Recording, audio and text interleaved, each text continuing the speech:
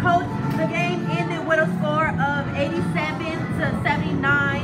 Um, in the first half, something happened to player 11, Nick Cormus. Can you explain what happened for the first half? Yes, uh, what we didn't need to happen, we lost another guard. Uh, Nick had a concussion, so he's in concussion protocol, and uh, he took some couple pretty hard spills.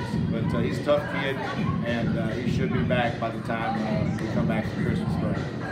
That's good news to hear. Can you tell us what you've tonight that you feel you can work on moving forward in the season? Well, we, we've got a long way to go. First of all, we got to get our we got to get her healthy. We got to get our uh, our players back.